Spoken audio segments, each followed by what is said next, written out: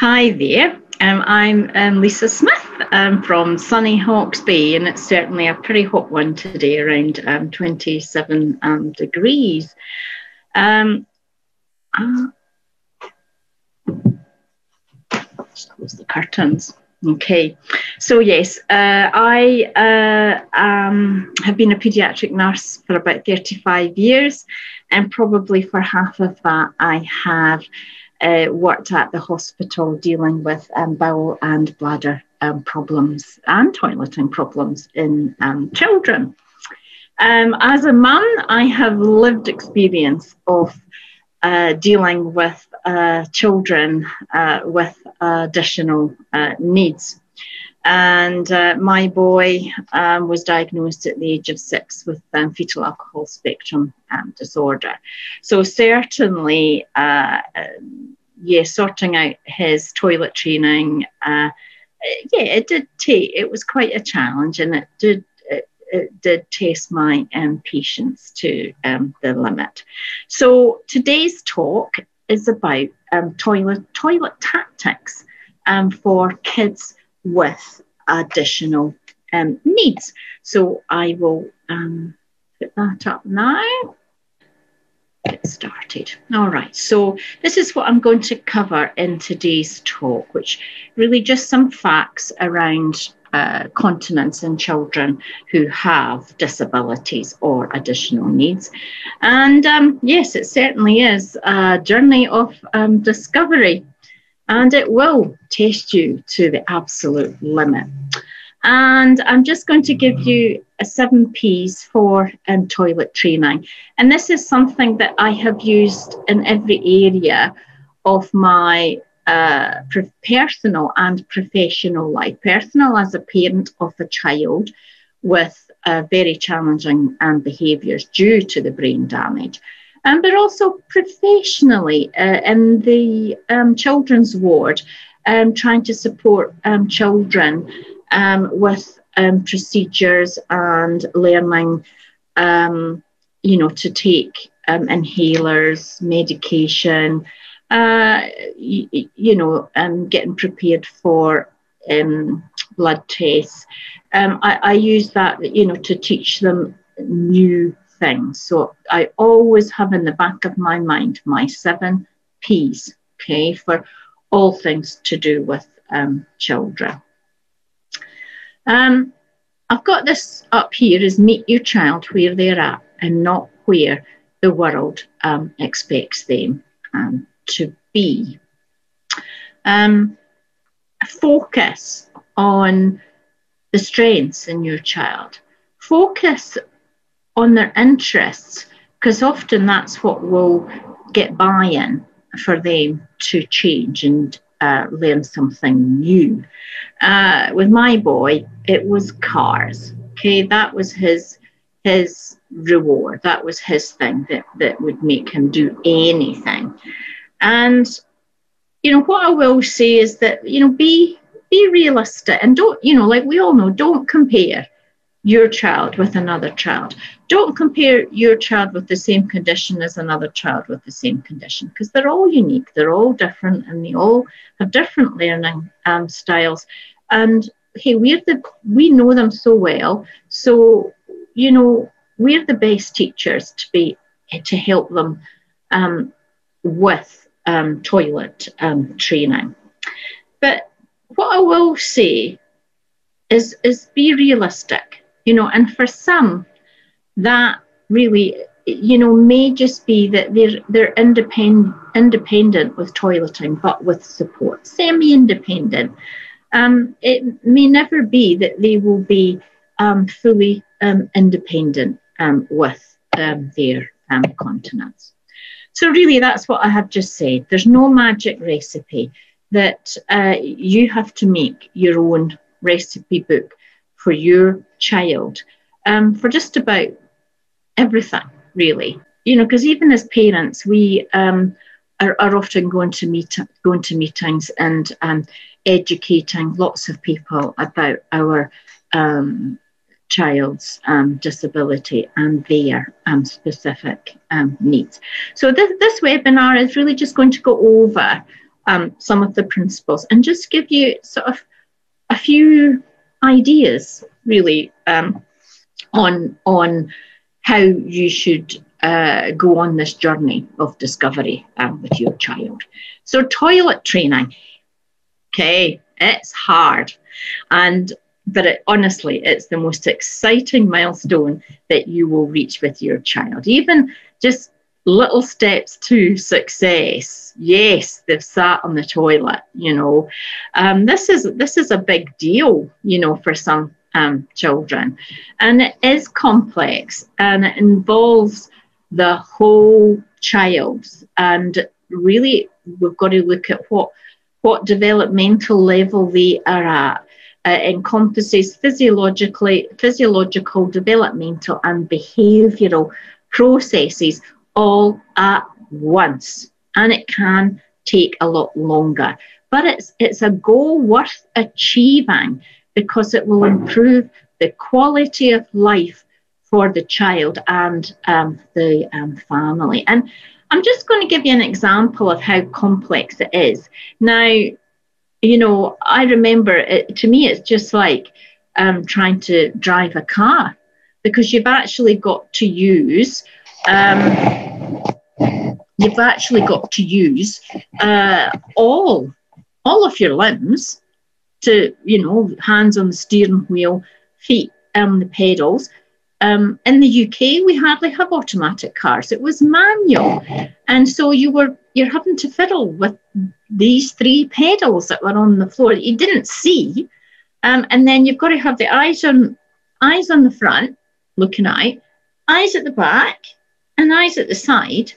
And then when you're having to change gear, I would often stall it because you've also got to listen to the engine so that you know that it's it's okay. You know, you've got to um, you know, step up, take off the pedal, you know. So hey, it is really difficult.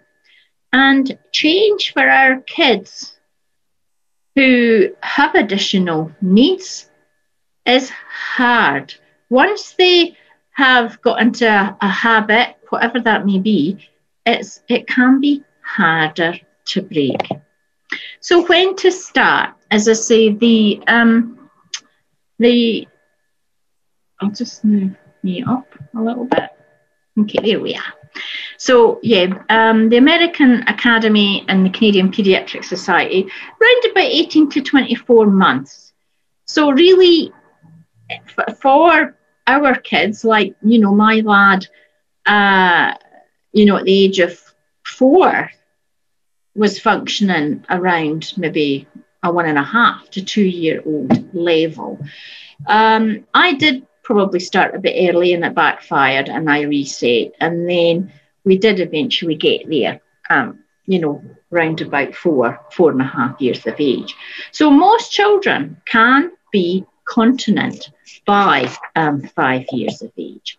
So the facts, okay, you're looking at one in 20 kids between five and 14 having some form of physical, mental, or learning disability that will have an impact on them achieving um, their milestones.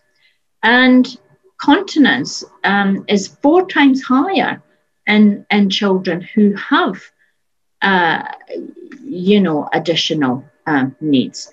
And there was a study done um, on um, about 109 year old kids who had a combination of physical and mental disability. And by the age of nine, only 39, about 40% were continent.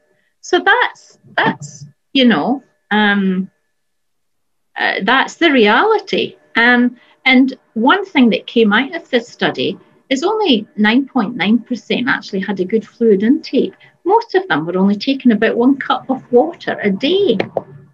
So, you know, a number of studies, um, again, um, has been predominantly in Down syndrome, and that there is a higher incidence of bladder and bowel um, dysfunction and it should not just be because they've got some form of physical um, intellectual learning disability, that, that there is um, a dis- disproportionately high prevalence of renal and urinary tract dysfunction in a number of um, kids, particularly Down syndrome.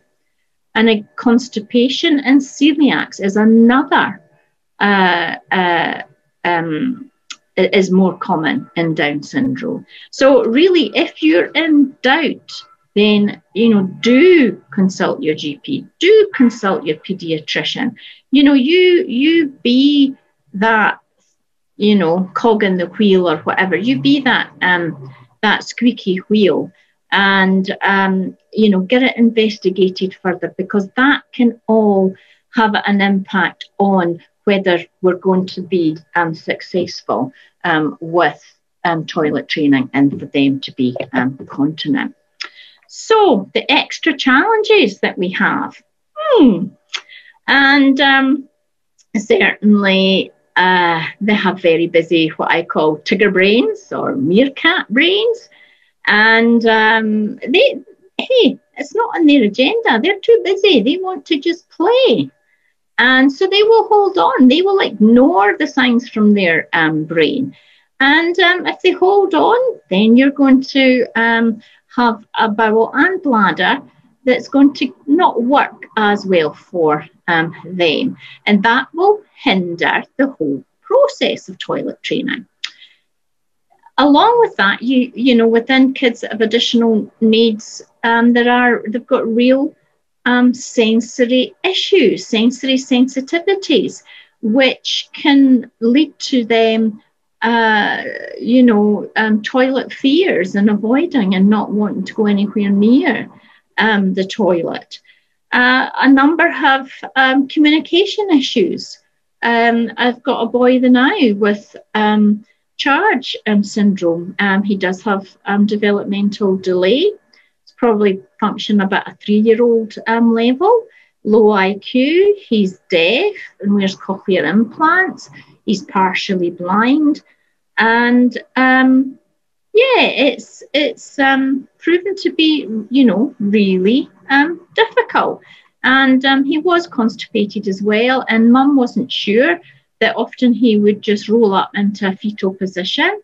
And um, she, she kind of wondered, is there something um, not right? But, um, you know, constipation can be quite um, sneaky, and kids might still poop every day, but they don't have a good poop every day, and they can still land up becoming um, constipated.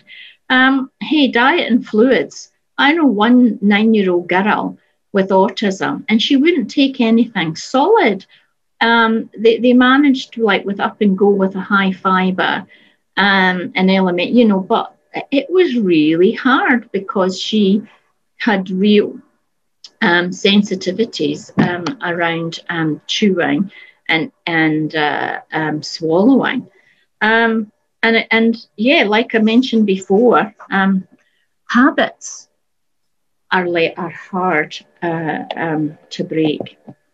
So here's an example, um, and this was a, a girl that uh, probably about three or four years ago, and I always remember it because. Um, um, you know the, the the change in her um, coming out and out of nappies and um, being continent with support. So not she wasn't fully independent, but she was continent with regular um, prom- prompting. But um, to see her come into the clinic with a lovely dress on rather than um, dungarees um, was just um, lovely. Um, she did have full support in residential care, and really our our aim, you know, was to uh, reduce the soiling remove the nappy and maintain continence with external um, prompting. Um, she did play with her feces. So that's why she was in dungarees and um, and onesies at night to stop her getting into her um, hula. Um, she was from the charts that was that was completed by the staff she was constipated, so she was commenced on laxative. And um, hey, the fluid intake was a problem. We added just a bit of pink food colouring. Um, you could, you know, mineral, eh, you know, something that the kid will buy into, really. Or water rich foods like watermelon, cucumber, um, a lot of strawberry, you know, a lot of um, foods do have um, more water than uh, protein or um, carbs in them. Okay. Um, do document you know you will know if we're if we're getting success and we're having improvement if it's documented and then it's always good to know hey look at the look where we started and look how far we've come even though the staff will say oh my goodness i don't feel we've gotten very far you know and i always just take them back to the um, beginning and say hey we have actually made um, some progress um, here and it's worth celebrating and it let's go let's carry on, let's get to the next um, step. How are we going to do this? Um, and um, we did get over the, the, the playing with feces um, by the staff introducing tactile play with pink Play-Doh and other stuff. And that certainly reduced her need, you know, for uh, going into her nappy. And um, so this was sort of the overall um, management. And what was buy-in for her is that she had a favourite song that she loved and would re- and it would be repeated over and over again. And so we used that song for when she was doing her toilet time. And we, we agreed that we would just start with her doing um, focusing on getting the poops in, in the toilet, you know, because the wees was going to be every hour, every, you know, so it's like, no, let's just, let's just, and, you know, focus on that. And especially with her being on um, laxatives and her poos being um, quite um, loose. And um, it became a habit. So it was like toilet time, you know, toilet, staff, would take her there and then they would sing the song, You Are My Sunshine, my only son. I'm not going to sing it, um, but it was an old Morecambe and Wise um, song. And I always remember them singing it and doing the dance to it as well. And um, hey, it took a long, long time and it was intensive. But after a year, she was in no nappy. They were able to reduce her anti anxiety medication and uh, she was um, a much happier child. Um, she wasn't as um, violent. So it had a huge impact. Getting her bowels and bladder sorted out had a huge impact on her behaviour um, and also helped her make better decisions in her brain. The fact that we were able to reduce her anti anxiety medications. Um, I had another boy he loved Boney M, Rivers of Babylon. So find out what um, is their passion, what they really um, love playing with or listening to, or you know, and and try and bring that in because it's it's happy for them. It makes them feel good, and we want them to feel good with the habit of going to the toilet when they need to um, eliminate what I will say is that, and I can hear, oh yeah, it's great. There's staff there, and they get breaks every, you know, that that you know, and I agree. Parents don't get the luxury of having breaks and having time out, so it is hard. Okay, and that's where um, it's great if we can get the um, school team um, on um, board and funding fight for funding. Um, you can get high health needs um, funding, and I think it can be up to sometimes 15 hours a week if it's absolutely um, necessary. And obviously, a number of our kids do have teacher aides and do have um, um, ORS um, funding, uh, you know, and they're in a learning um, support um, unit. So, you know, that this is sort of a diagram and it's my four B's and really if there's an imbalance in one it's going to have an impact um, on the other. And sometimes you don't know if there's an imbalance in, say, the bowels or the bladder, but you notice there is a change in their um, um, behaviour. And hey, if, if the brain is a bit wonky or it's an overdrive with ADHD, um, the connections just sometimes go astray and they get lost and then the child um, is likely to hold on or have pee, poo, and wee um, accidents. And certainly, um, I've had a number of kids with ADHD, and um, the, the incidence of uh, poo and wee issues are four times higher uh, um, in, in them. So don't worry too much about this um, diagram, but I, I, do feel I'd like to explain it a little bit um, you know, because it is it is all a physiological uh, response, and the brain ultimately is in charge. So, like the brain, um, you know, releases uh, hormones um, that um, then go to the adrenal glands, which sit on top of the um, kidneys, and then they will um, release uh, cortisol, um, which is a stress um, hormone, and um, that can have a negative impact on the uh, gastrointestinal system and the um, urinary um, system. And many of our kids, you know, they, they tend to produce more of the stress hormone cortisol, that the, the world and the environment around them is quite overwhelming and they do become stressed. And it is a physiological response, which then has an impact um, on the body, particularly the elimination uh, um, system. And, and I've always said, you know, yes, mind over matter, but um, next to the brain, you know, the gut particularly is the next most um, sensitive um, um, organ. And hey, this is really, um, you know, quite complicated. But I just want to, to draw you to the, the two different automatic um, uh, systems within our central nervous system and our peripheral um, nervous system. And really just take you down to what happens when, um, which is the sympathetic, where that's the fight, flight, fear response. And that's when the the child's got the tiger brain or the meerkat brain.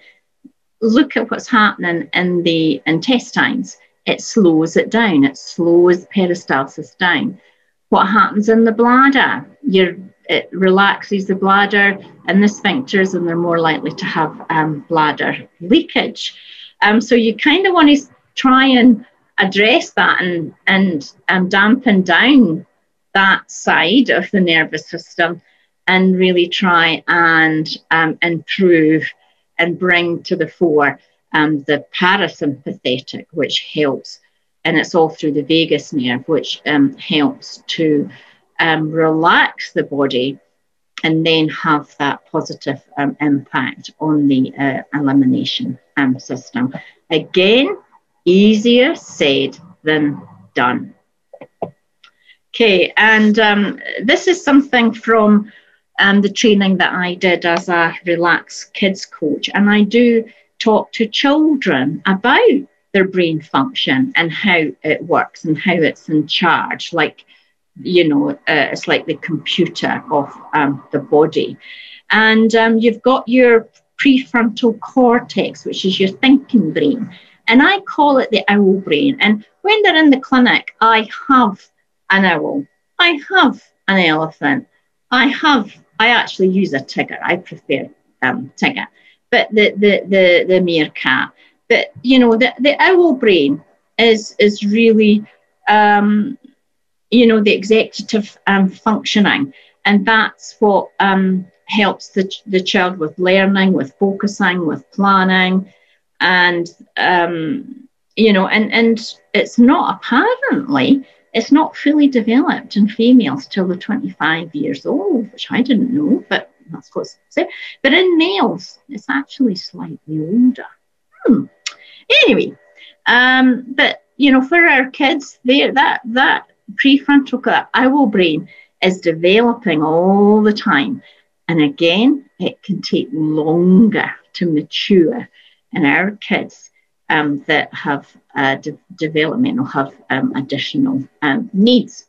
Then you have the and the hippocampus, which is sort of um, uh, you can see it there, and it's not. I thought it would be called a hippo, but no, hippos apparently they've. I don't know how they've done the research. Don't have good memories, so it's actually called the elephant brain because the elephant um, does not forget. Um, again, I don't know how they know that, but that's just the way it is, and that that that is what um, you know um, stores all our memories, good and bad, and you know that is where we can get the the, the child if they have a bad memory um, will um, trigger off a response the wrong response from the owl brain where he, oh, this was bad, I didn't like this, we avoid. So this is in the case of constipation, that was really painful. I'm going to avoid going to the toilet.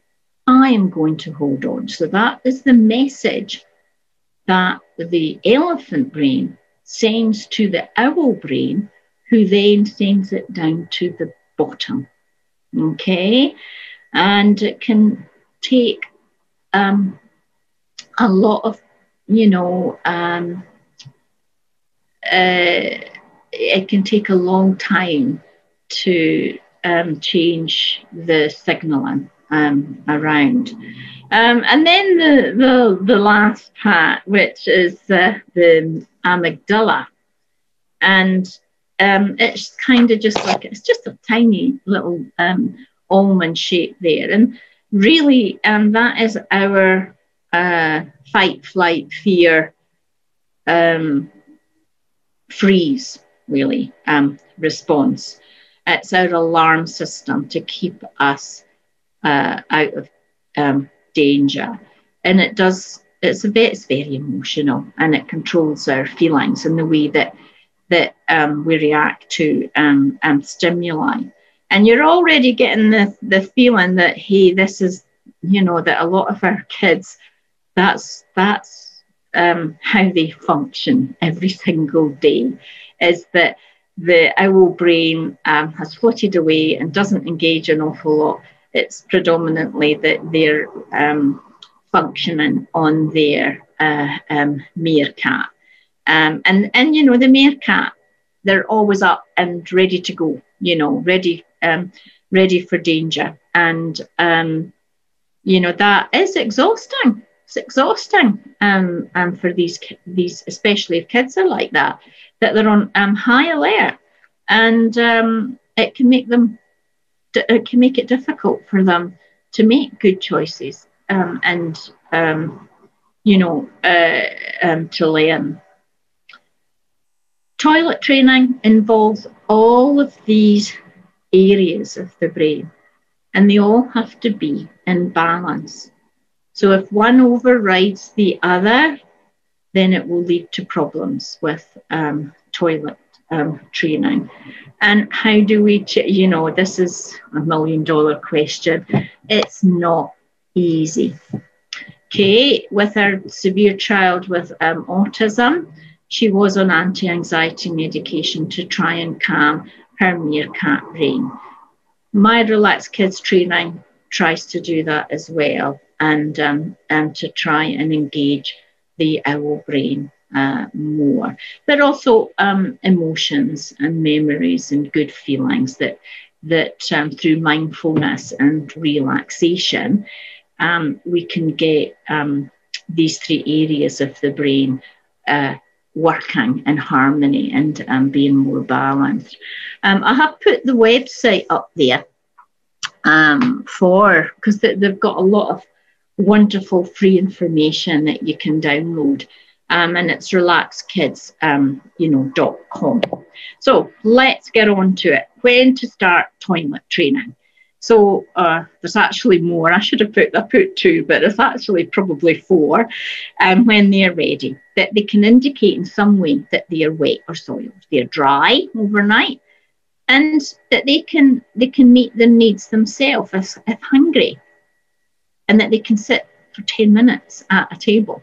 You know, my boy, the eight-year-old with um, CHARGE syndrome, he didn't. He, he never really sat still much at all. So you know that's an indication is, is how well are we going to do with this toilet training. So if a child cannot get to the kitchen to indicate hunger he is unlikely to get to the bathroom to indicate that he has to pee or it has to be with a lot more external um, prompting and yeah, external support.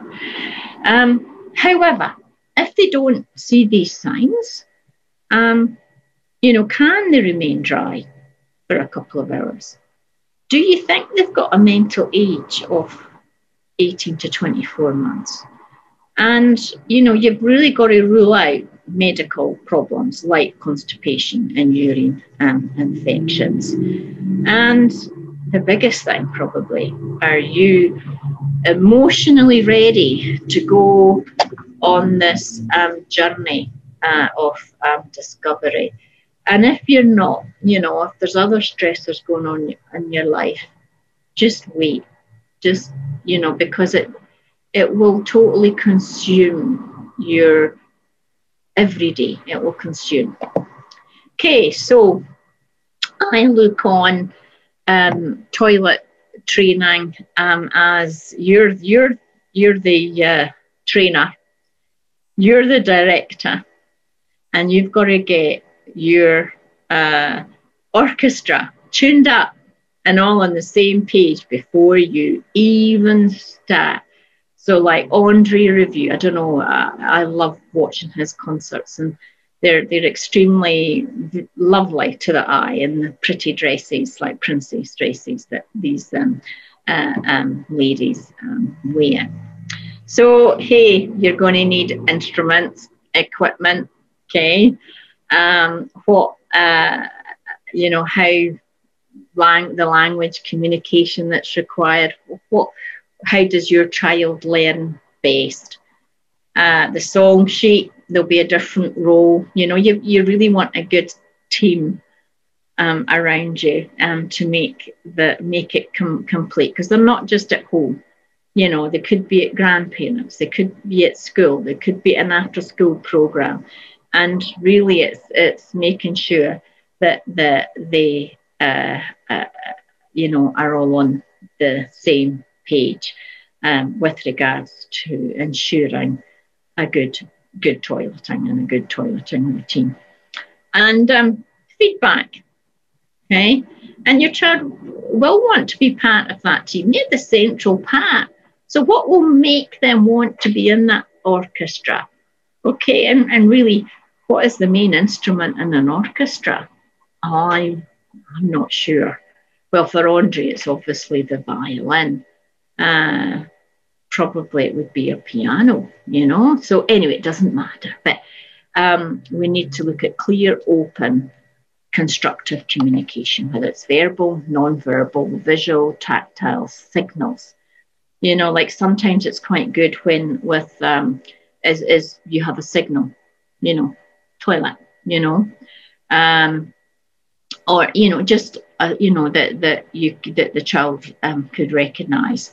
Um, sign language. You know i um, did a booklet for this eight year old who was deaf and it was fireman sam helps um, so and you know johnny to go um, to the toilet.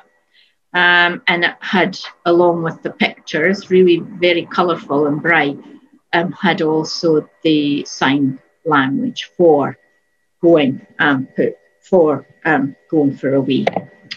So um, the pre-cursors, um, I'll just move me up a bit because you can't see it all, is it? Uh, yeah, the pre-cursors to starting uh, and, and toilet um, training um, is really just what I've said before. that you you need to be in the right headspace and that there's nothing else that's going to interfere or cause stress. Again, I know that the best laid plans of mice and men, this is um, Rabbie Burns from Scotland, a, a famous poem, um, best laid plans of mice and men often gan astray. So it, you start off, but things can, life, that's life. Life can get in the way. All right, um, but it's going to be time intensive. Clear your calendar as best you can to start the toilet training a lot of people actually last year when it was lockdown and they had four or five weeks they they you know that a lot of families did get quite good success um starting the toilet training name because there was a good team. There was mum and dad there and hopefully they were both on the same page. Avoid facebook publicity that you are starting toilet training. Keep it on a need to know basis. Toileting is quite private you know, and um, we shouldn't be sharing our kids' sort of toileting issues with everybody. You know, um, it's their body, and um, we've got to be respectful that that we like privacy when we go to uh, the bathroom. Um, so we should give that right, you know, respect that for the child um, as well. Um, and um, it's amazing how many people have opinions on toilet training theories and it will confuse you. You know, you're just going to have to filter them out. And, and I had it with my own boy. You know, like we adopted him when he was like 18 months of age. And I had Granny saying, hey, you need to get him out of nappies, you know, um, mainly because she didn't like changing dirty bums and things. But um, you know, is he's you need, you know, I, taught, I had my kids toilet trained by the time they were two and whatnot. And I said, well, no, it's too big a change. And he's really just getting used to be, getting used to us and getting used to a new home. And um, even when I did start the um, toilet um, training, it did backfire because I didn't know he had brain damage at that time. And so I thought, right, we will we'll give it a go. Once he'd been with us for like six months, well, it was just a complete disaster. He he didn't understand, and it just became too um, stressful. He didn't know what was expected of him, and he struggled to communicate his his. He struggled to communicate that that's you know that he was needing the toilet or whatever. So we had lots and lots of um, uh, um, accidents. And I quite like this one, being a mumby. Okay, and yeah, you know, that's kind of where you might um, get to uh, um, once you, um, and it's a long journey, all right? Um, it is a bit like um, doing uh, a marathon rather than a sprint. But keep calm and believe that you can do it have that positive mindset, all right, and trust your abilities as being the best teacher for your um, uh, um, child. Um, and get one, get one or two people that will listen, but not give too much advice. That they will listen to understand rather than respond. That, that it just gives you a vent. It gives you, you know, to because it is you you get so um, frustrated. So you do need that catharsis. You do need that um, um, release. So here is my um, seven P's for um, toilet um, training, and I have a, a, a, webinar on just toilet um, seven P's for toilet training for just kids really, but this is um, a bit a bit more for the additional. Okay, so um, I've turned it around a bit because I think plan, plan, plan, prepare um, is is imperative. Okay, um, obviously play is extremely important, and I'll go into each one in more um, detail. Practice, patience, and this big long word, perseverance um, praise. And hey, the last one, uh, be positive, even when the going gets tough. Okay, uh, remain uh, um, positive. Go at the child's pace. They will soon tell you through their behaviour if you're moving too um, quickly. And, you know, we have to be aware that um, there will be hurdles, uh, particularly sensory um, hurdles. And I will touch on that uh, um, uh, quite a bit um, um, later on. Okay, so plan well for success.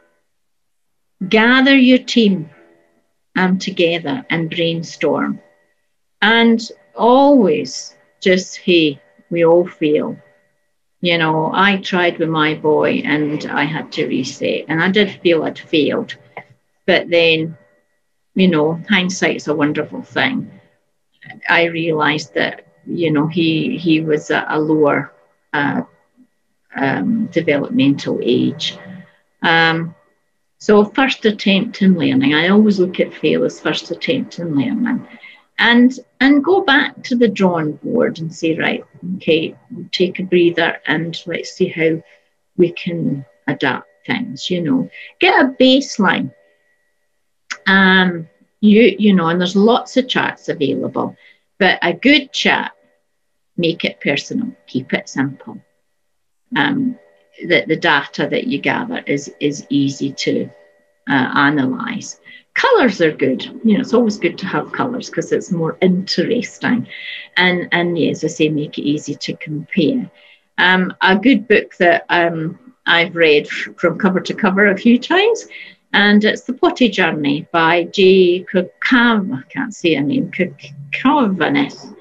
And, um, but one of the very first things that um, we should start um, doing is um, changing your child's nappy in the bathroom. That's if they don't have toilet fears, okay, because that is another, that's, that's quite difficult to do that if you've got um, quite a big active child and they keep running out of the uh, um, bathroom. But the reason why I'm saying that is that it's just starting to put that association there that all who's and um, should, or anything to do with elimination, should be in the bathroom. That's where poos and pees happen. All right, and um, make the environment a happy place. Um, make it fun for um, the child, and I'll talk a bit more um, about that. So, hey, um, read and research. And I, I'll go back so that you can um, make a, a note. Um, there's it's the uh, potty journey and uh, teaching toileting. And I am going to say the teach toileting, the revolutionary approach, is not one that um, I practically uh, advised uh, because it, it does um, get the child to um, pee on the floor in the bathroom, and then gradually they move to peeing and pooing in the toilet. But apparently, and, and there's been huge success with this um, book by um, Deborah um, Bialer, uh, particularly with kids with um, uh, quite um, significant um, uh, autism. Plan well um, for success. I've just put this chart that's probably too complicated for the majority of our kids. You've got to keep it um, simple. Um, you're going to come along um, lots of different toilet training methods um, to use. Uh, the Dior method, sit and wait, fixed habit training, blah, blah, blah, um, and applied behavioral um, analysis. And you know, that can work. And it's the ABCs, the antecedent behavior, consequences of behavior, and looking at positive reinforcers to encourage um, time. And I think um, uh, on our the Continence New Zealand, they had an awareness day, uh, or was it on the members page, um, a really good um, presentation um, by uh, um, Christina and Spatsky um, a Be Change Behavioural um, uh, uh, um, support and behavioural analysis. And um, yeah, she, she went into a huge amount of detail around um, toilet time for kids with uh, um, additional needs. So plan. What are we going to focus on first? Okay, um, no right or wrong here. Uh, if they're constipated, you probably want to focus on the bowels and get the bowels right. Um, and sometimes it is easier to start with the bowels because it's it's there's less visits to the toilet basically it's practically where if you're starting with wees it's like every hour every hour you know and you're you're hovering like a a, a hawk um, fluids i cannot stress enough the you know the amount of children when i do an assessment just don't drink nowhere near enough and the um, you know, I, like with my own boy, I just put a cup of water in his hands or a bottle of water, drink. And that's what we have to do. Okay. 80% of a child's body is made up of water. So, it, uh, you know, it's just if if we don't ensure that they've got good water intake, we're not we're not um, going to do well um, with um, gaining um, um, continence. Uh, if they don't have enough, they can get a real twitchy, irritable um, bladder, increases the risk of urine infections and bladder leakage. Um, so monitor that, monitor what they're drinking, and get them to drink it as cupfuls rather than sipping. Cupfuls means that you get better expansion of the bladder. It makes the bladder work more effectively, so that that um, yeah, it, it's just uh, going to improve, ensure a healthy bladder, and that, that they will um, have good voiding, good good urination um, each um, time. The plan now. Um, again, there is no right or wrong. Um, potty or toilet. It's entirely, uh, you know, in the hands of the directors or whatever as to what you would like to try and use. Um, maybe, you know, involve the child in what they would like to um, sit on. And there's amazing thrones out there, amazing toilets now, you know, singing toilets, musical toilets. And it, it's just unbelievable the choice that's out there.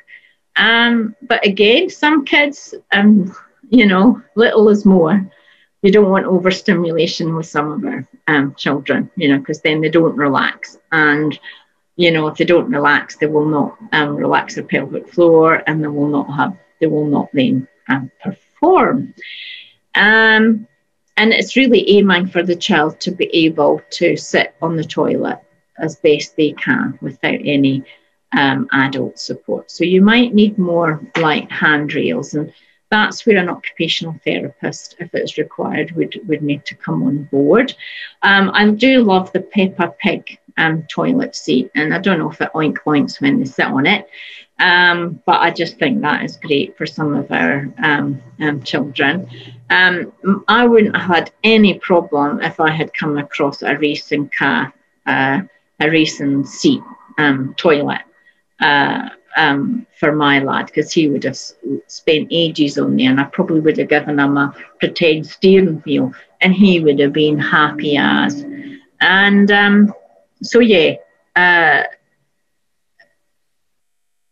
you know, what we're looking at is, is with the toilet, there's a huge big hole to nowhere. Okay, and for some of these children, they're going to put their bum on it and they don't know what's down there, you know? And we see all these adverts about these bugs, these bacteria that look like little monsters, and we use the toilet duck to get rid of them. Our kids have an amazing imagination, and they might just think that this monster is going to come up and bite the bum, you know? Um, so no wonder it's it's uh, this change um, of moving from the secure feeling of a warm nappy to um, sitting on this this thing that's got a huge big hole, um, you know, in the middle. Um, I thought I'd just give you what happened when I had one kid who came to the um, clinic and uh, he had autism, he was non-verbal. They'd got him toilet trained fantastic. He was happy in his bathroom and, um, you know, he, you know, was more or less independent. Um, and, uh, you know, yeah, he'd, he'd done really well. Um, role play and all that, you know, the usual seven P's of toilet toilet training. Um, they decided to uh, upgrade the bathroom, and you could imagine uh, what happened. Um, it didn't go down well, and he went um, from being con- continent um, to having soiling accidents and weight, you know, and having um, quite significant um, constipation. Um, so he, it's all well and good having these modern clinical toilets, you know, these clean toilets, but they're not they're not very cozy um, for the child. They're not very comforting for the um, child. See that that that one there looks like one that you would see in a hospital, you know. So yeah. Um, what is really essential, regardless of what equipment that that you get or whatever, it, you know, um, is it's it's physically impossible once a child has is getting up and running, walking, running, and they've developed really good muscle tone, and that will prevent most of the time from them having um, I, you know, from them having a, you know, it will, they won't poo very well. And it defies me, you know, very few people can poo standing up unless they've got diarrhea. You do have to sit down in order to relax the pelvic floor and to relax the what we call the puborectalis um, muscle. So the ideal position is not just sitting; it's actually in a squatting uh, um, position that is the physiological um, position because that's the way our bodies are made.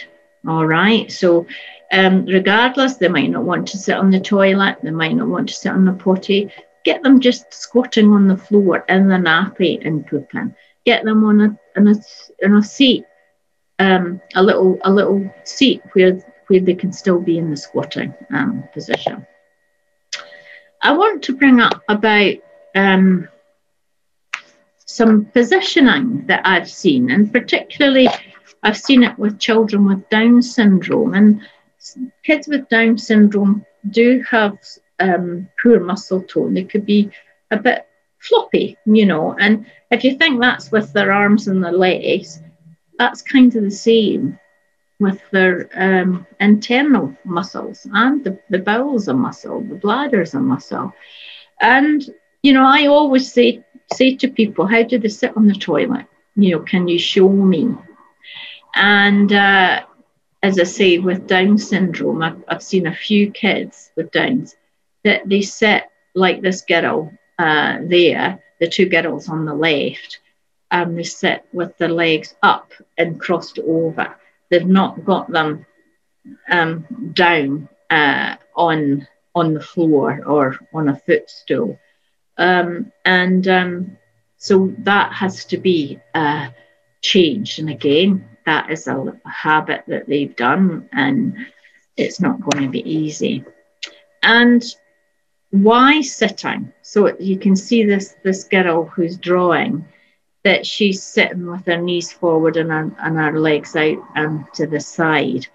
Um, that's been found to, to weaken their core um, strength and um, it, it, can affect their internal uh, muscles around their pelvic floor.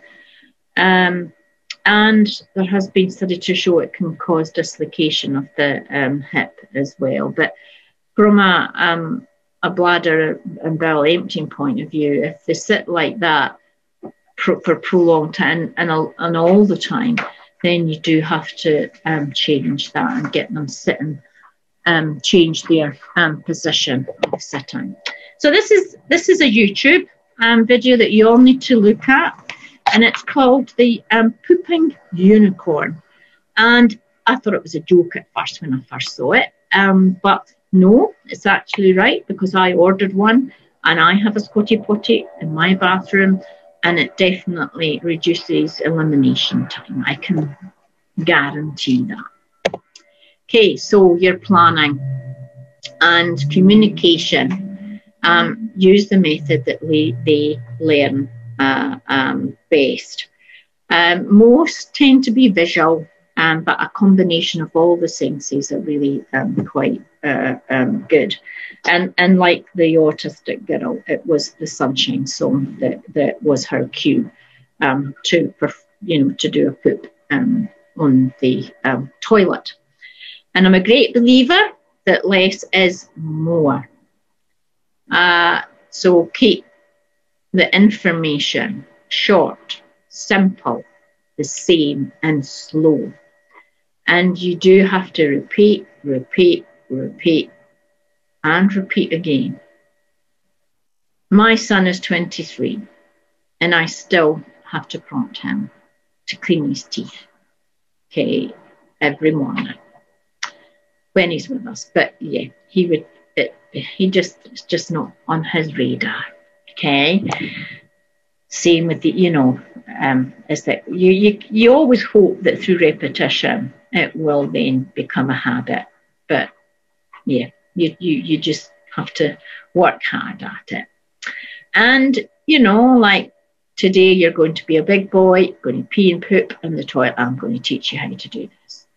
Uh, again, um, do you want the nappy on or off? And it might just be a very slow step by step removal of the nappy if the child is showing extreme anxiety, sensory issues, toilet avoidance and and I've come I've had a girl, a old girl who's been extreme, and we have had to involve the uh, pediatric occupational therapist again.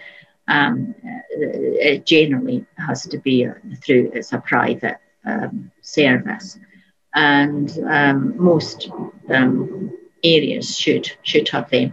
You may be able to through your child development unit um, access a paediatric occupational um, therapist that has experience um, around um, the sensory sensitivities and uh, getting over that the hurdles of toilet avoidance.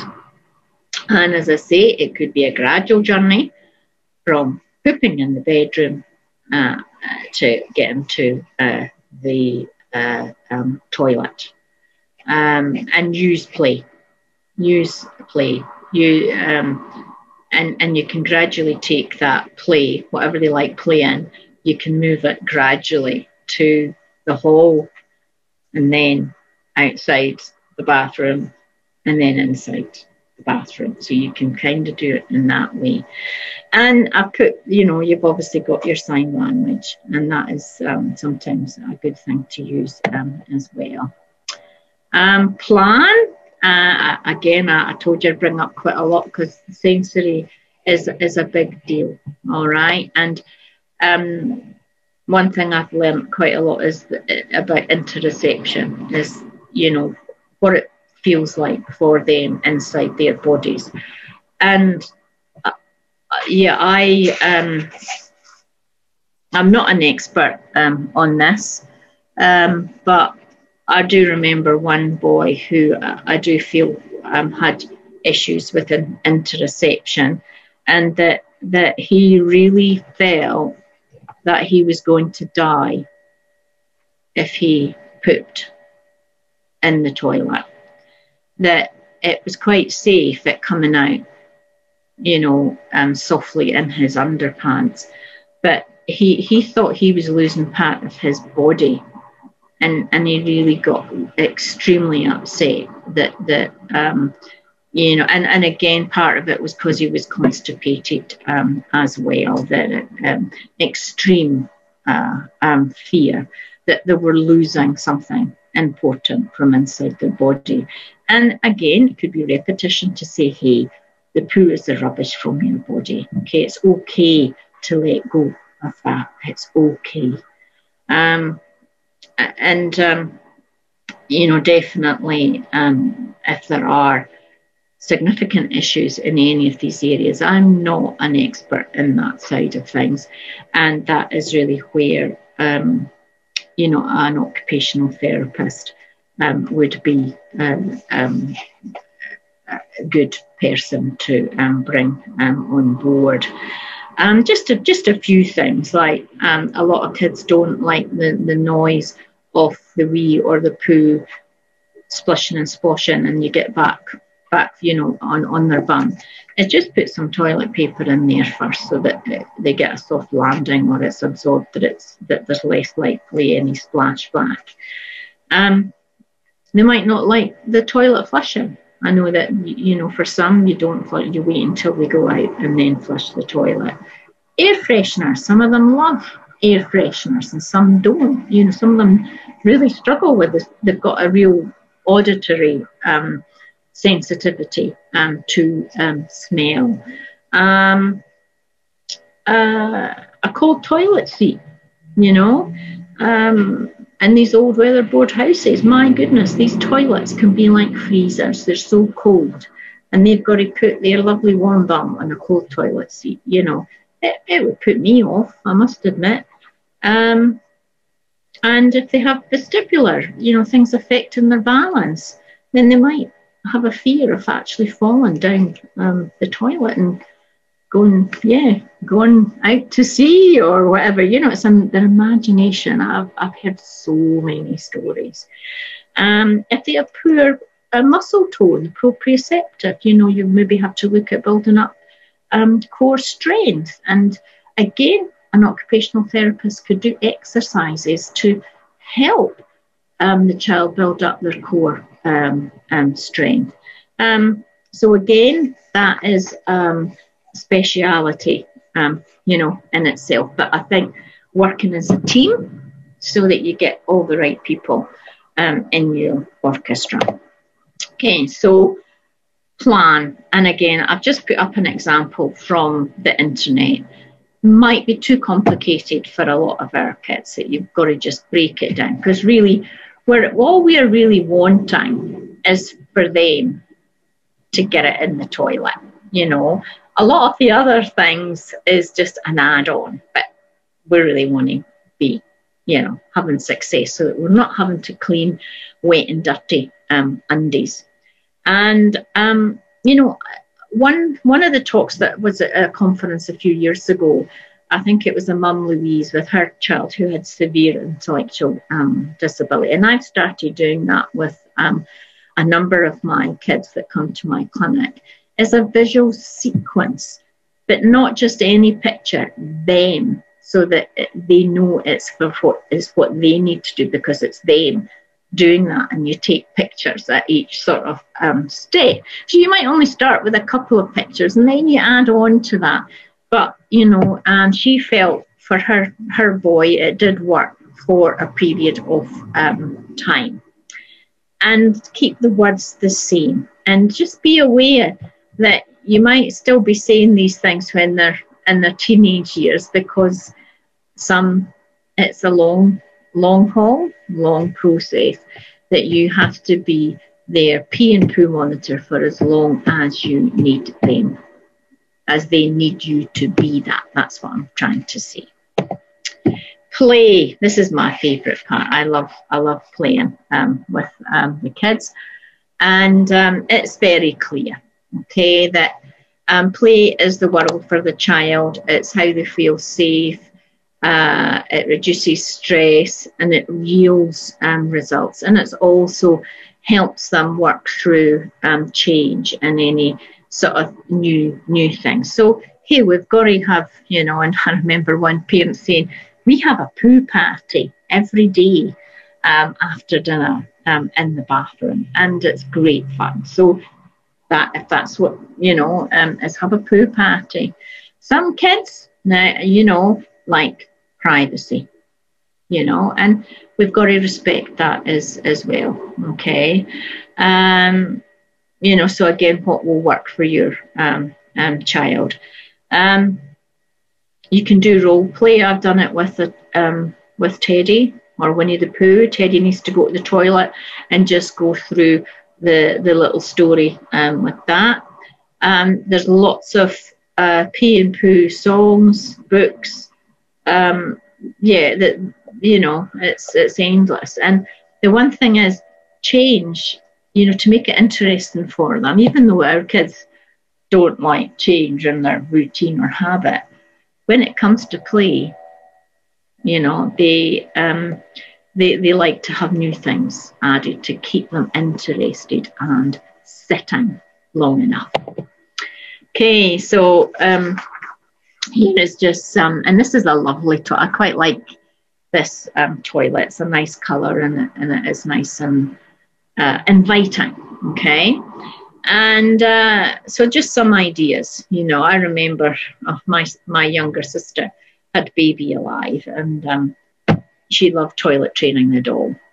Okay, but it did help when it was her, her toilet training. There's the wiggle toilet song um, you can get them to to get them to be using their muscles and knowing because a lot of kids don't know how to to push on the toilet you know. So sometimes you've got to get them moving back and forward. So i sometimes get them to lean forward and to throw soft balls uh, um, into um, a basket.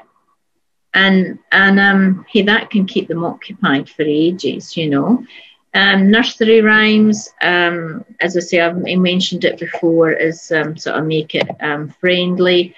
A toilet activity box, a treasure chest of wonderful things for their child so that they will actually sit and relax and take their time on the toilet. So I've got a few examples there, and, and I have lots of these in the clinic, apart from when my dog comes in and starts. He's already chewed about three of these um, squidgy, squeezy balls. So there is the, and it's wonderful. I like the toilet song because it's really, it's really catchy. Okay, so it's a good one to use. So we've gone from plan to play to practice, and you may need to uh, practice for a number of weeks with the child's nappy on, and then progress um, slowly. And, you know, let them get used to the toileting equipment. Okay. I often say don't bring it out until you mean business. Okay. And that's really important. Okay. Um, when you decide to start training, toilet training, that's when you bring out the equipment. Don't just leave it around and, and, you know, and uh, suggest, you know, is that, that start strong, if you like. And there's 13 steps, would you believe it, to being totally independent with toilet time. So just focus on the essential ones. And and really for, for my boy, um, it was that that you know I'm I'm peeing. I had to just watch him for the wiggle signs, and then it would it would be a case of um, toilet, and I would just get him to the toilet quickly.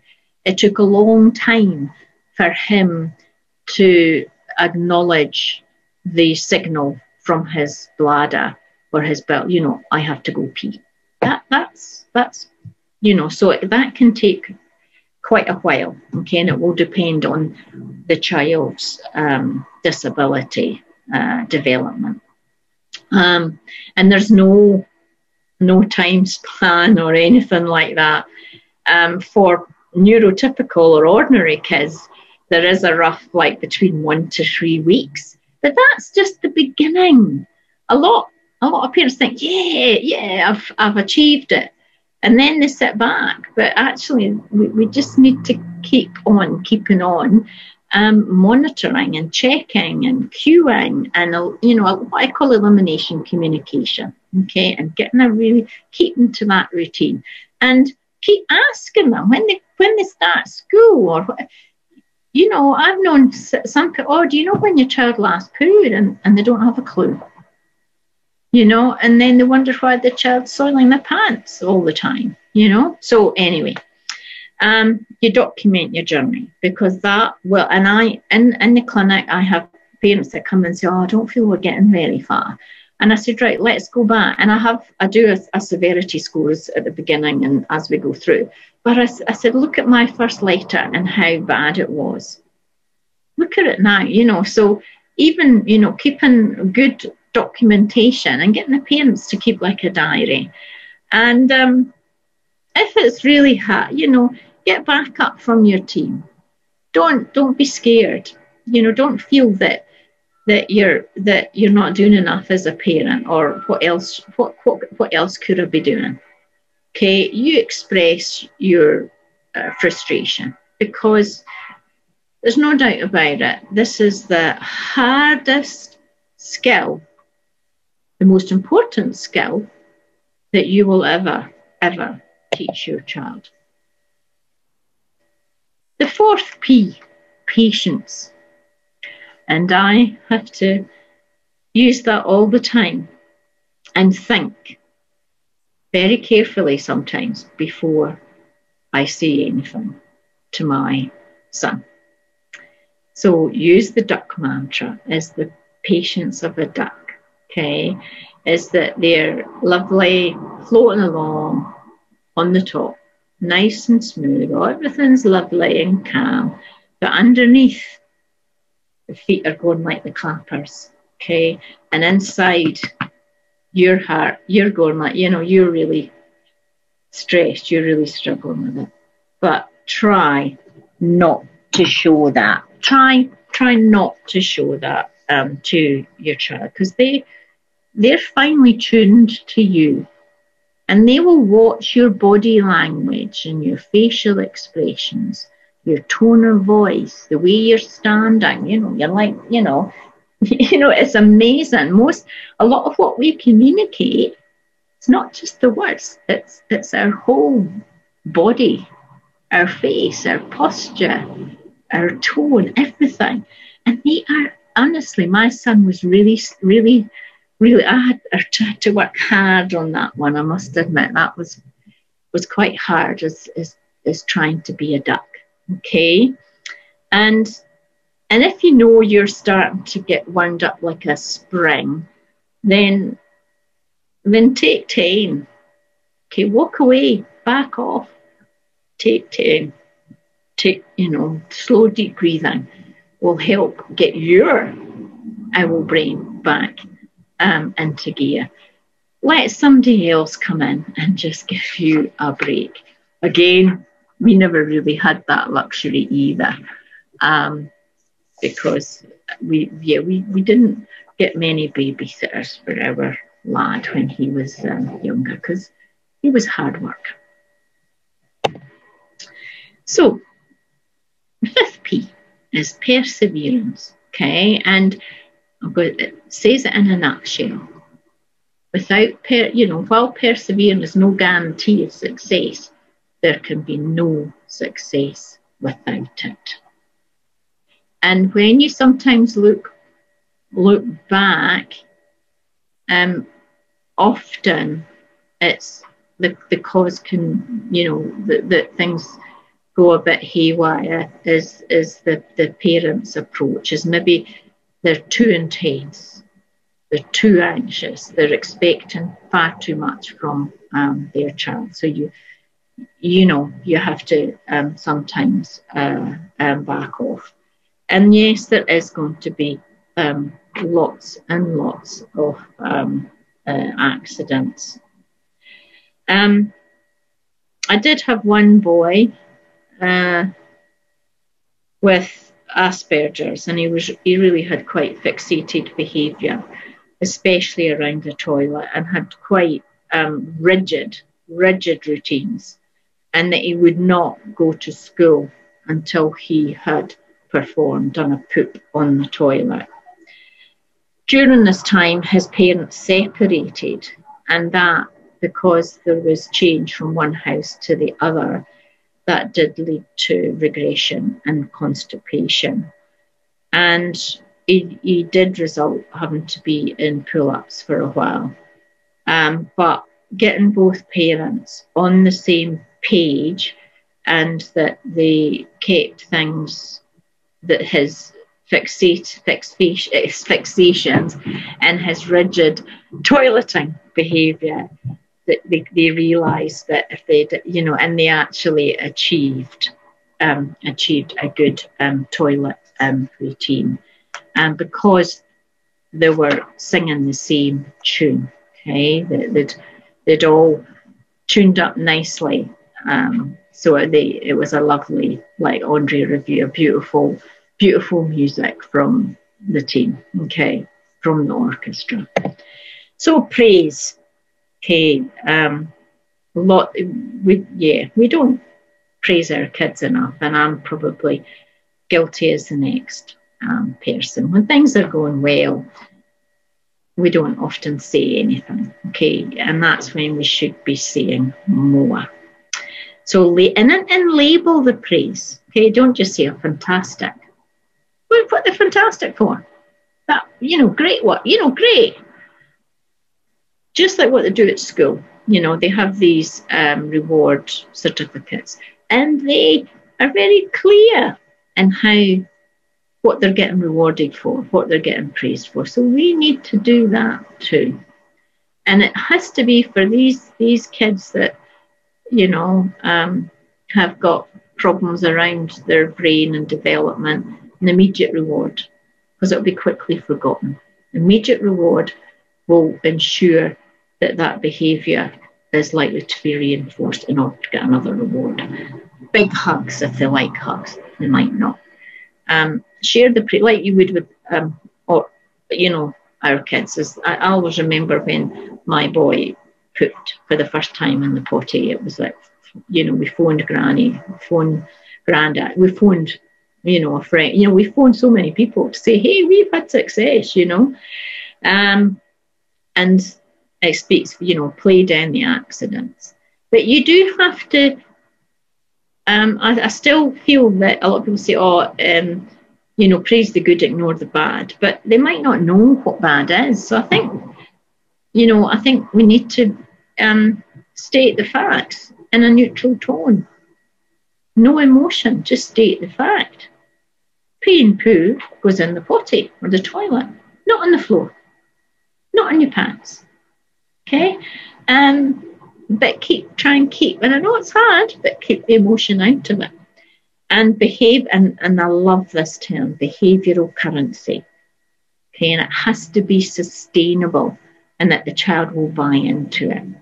The 14 year old just loved her pink cookies, her hundreds and thousands cookies. They were just little, they, were, they weren't great big things, you know. So, you know, and for my boy, um, it, it, it would often revolve around cars. Yeah, okay, so positive. And I, and I can relate to all of these because um, toilet time is just one part of supporting and managing your child with additional needs. It can be very overwhelming and, and uh, complex. And there have been times where I, I have just, like this mother here, go for an ordinary life.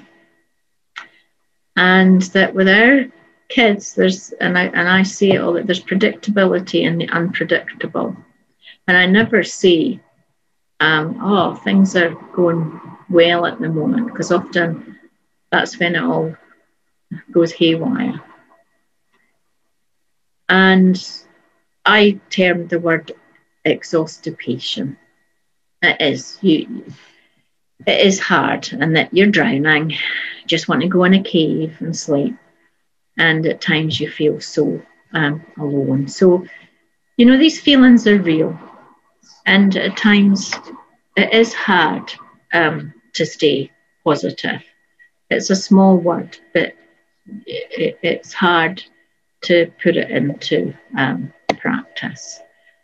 And I think we have to, uh, you know, look and that's where we have to go back to the documentation. You know, you're looking at progress, not perfection, and that that you know I've always been like like that. Is that I have to fight for the things that I have wanted in my life. Nothing comes easy. You, you've got to work at it. And um, as as a parent of a child, you know, with complex um, needs, it was actually the hardest part was not always managing my child at home. You know, it was actually teaching, not teaching my son about the world around him. It was actually teaching the world about my son because they uh, didn't acknowledge or accept that he did have a disability because he looked entirely normal. And so many do. They've got invisible disabilities. Children with Down syndrome, even though it's tough, people do, you can see that they have a disability. Um, and they tend to be more empathetic um, around that because it's it's visual. We can see it. That's the way human nature um, um, is, and I. It's it's um it's um draining advocating and going out there and and uh, you know um, talking about their behaviours. You know that that behaviours is a symptom and it, it's not that they're being deliberately difficult or awkward. And it is extremely tiring. Actually, I used to enjoy school holidays because I didn't I didn't have to um, continually explain my son's behaviour to um, um, others, especially at school. So yes, um, parents, oh, be kind to yourself. Okay, you are doing better than you realise. Okay, it's it's tiring. No one gets it right. Few people are always calm. You know, yeah. Um, everyone gets gets overwhelmed. You take time out, you reset if you can. And again, I'm going to hear some you don't get time out, you know. Um, and that celebrate everything that you have done and continue to do as you navigate this um, important um, role. And like I said, it is like climbing Mount Everest, and I have actually been in the Himalayas, and I did get quite quite breathless. I didn't go Everest; it was another mountain, but I obviously didn't go right the way to the top. And at times the going seemed impossible, but we, we would take a wee break, catch our breath, and we would carry on. We didn't give up. So hey, you know, we say it's like running a marathon, and at times it's even more than that. Okay, um, and continue prompting be their poo or we monitor for as long as they need you to be in that. And, and be aware of their signals. And, you know, they, they've all got their own unique signals. And keep and, and they're more likely in new environments um, need more support and supervision. Okay. Um, stick to a good toilet um, routine once you've got it um, sussed and, and, and be vigilant. Um, however, if it's just that you're at your wits' end and you're at the end of your tethering, it's a complete disaster, reset, take time out, okay, from a practical point of view, and it may be mean that they do have to go back into um, these pull-ups for a while. And to finish, and I know I've talked for a, a long time, and this is just my final take home uh, um, message is uh, make the most of the good times and the least uh, of um, the worst. And that today was tough. with a toilet training. But tomorrow is a new day and it'll, you know, start afresh tomorrow, just a clean slate and start afresh. So, and but be kind to yourself, all right? And sometimes you might not want to start afresh tomorrow. You might just want to have a few days um, off um, and then um, get back um, on that um, road, get back on that um, journey. And this, this photo here was taken at my son's after school club, which was a, we were very lucky, probably one of a kind for kids with high needs and um, you can see that the lad with Down syndrome is sitting cross-legged. That's you know that's how they like to sit, and they often do that on the toilet. But anyway, um, he still has the the one of the staff members there with the blue on, um, and Aaron is in the red jumper at, at the side. My boy, um, she's still with him um, 11 years um, later. So, you know, we've had consistent, continuous um, support um, on our journey, um, you know, with um, our, our lad, which we are really thankful for. so I hope that has given you guys, you know, some an overview and some um, tips around um, encouraging or, or getting on to the toilet training. Uh, you know, if they do have bowel and bladder dysfunction, particularly constipation, you are going to um, need uh, uh, extra help from, uh, you know, like, you know, a, a continence um, clinic or um, a pediatrician. Um, so thanks for listening. And Continence New Zealand, they do have quite a lot of um, information leaflets that you can download. And there is a free um, helpline um, that uh, you can uh, phone and um, get um, some information um, and advice. we've got our website and our Facebook page. So thanks for um, listening. All right then, bye.